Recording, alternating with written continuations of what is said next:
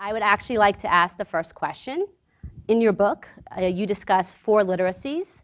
Can you tell us what they are and uh, what we can do to tap into them and what we need to follow to become successful? Great. well, welcome everyone.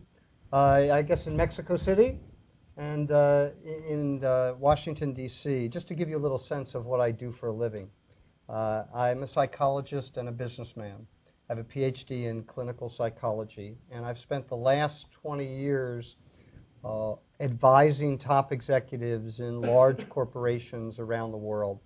Um, I have visited 43 countries and have sat face to face with about 300 CEOs of large corporations in those countries. And so my job really is to coach CEOs and top executives of big businesses around the world.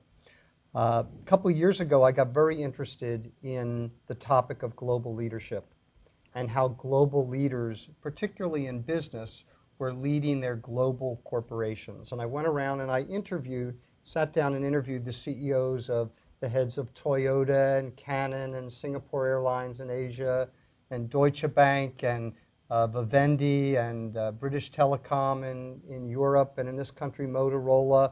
I interviewed the CEO of Cemex the large, great cement company in Monterrey in Mexico. And so that's my perspective. I bring to the table a U.S. passport.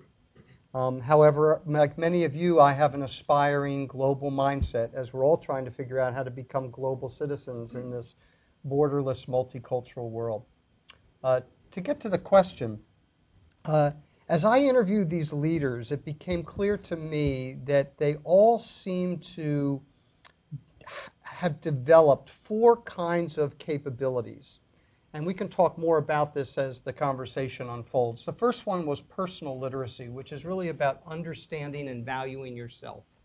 It's about emotional intelligence. It's about being self aware and being deeply committed to your own development.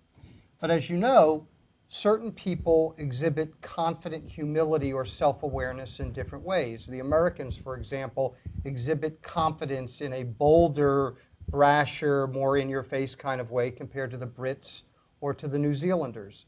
Uh, similarly, uh, everybody needs to understand their core values, but must recognize that they have to be flexible because people around the world have different versions of core universal human values. So that's the first literacy.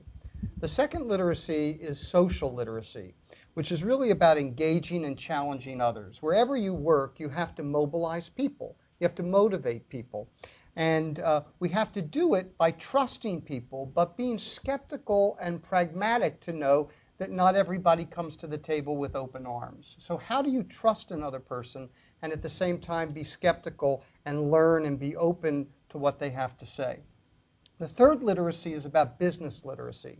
And that's really about focusing people on a goal and mobilizing them so that they're inspired and challenged to do great work.